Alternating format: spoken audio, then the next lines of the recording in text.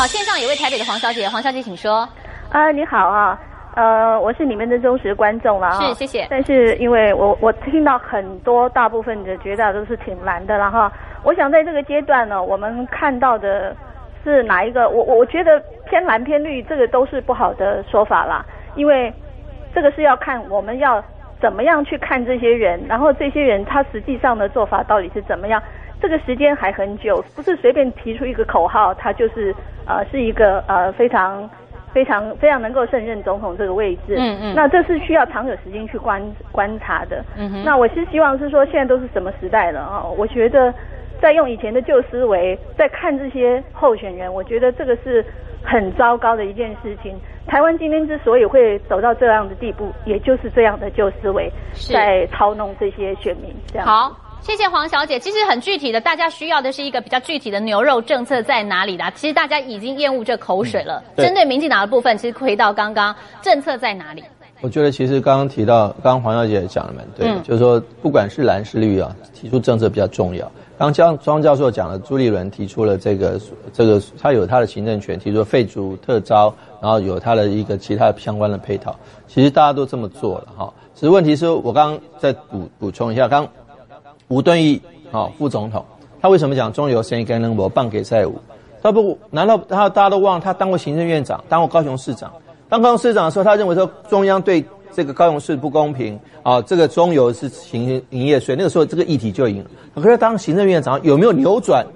有没有做一些相关的说也没有。所以朱立伦当过行政院副院长，他也有中央的历练。所以我们倒倒是真的觉得说，这个时候他需需要一些做做一些有些作为。可是问题是，不管是吴敦义，不管是朱立伦，不管是郝龙斌，或是其他的人，好，甚至胡志强，大家为什么轮流争相争先恐后的想要去呛党中央的政策？这让人家觉得说，为什么国民党不是党中央马马政府的政策一直会失分，让你底下这些诸侯、这些副这些人都是副主席啊，吴敦义还是首席副主席，为什么都要在借着公开的管道来呛你？这真值得值得马总统好好，我们先打个岔，先上一位新北市的周小姐，周小姐请说。周小姐，您在线上了。哦，我跟你讲啊，你不要说小英哈，他们民进党没有本事，民进党是专门搞学运的，专门搞学生，搞的洗脑，洗的妈的！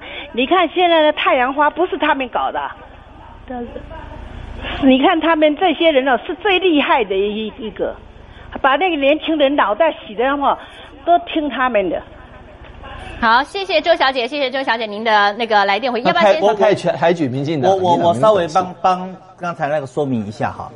朱立伦如果在担任行政院副院长的时候，直接就杠上十二年国教的政策的推动，他很可能那个时候受伤，对，他就受伤了，就没有今天的朱立伦了。所以朱立伦的时机的选择，为什么这时候提一个人提一个对的东西，要在对的时间去提？但是就吴敦义提到的中油那个事情，我就觉得吴敦义要负比较大的责任，因为吴敦义担任行政院长时间很长，他又做过两任的高雄市长，他当然很了解整个中油的营收里面来自高雄的比例很高，占了三分之一。那基本上中油的交的营业税是由中央做统筹分配款分配下来，可是高雄所分到的这个统筹分配款跟中油在高雄的贡献的比例。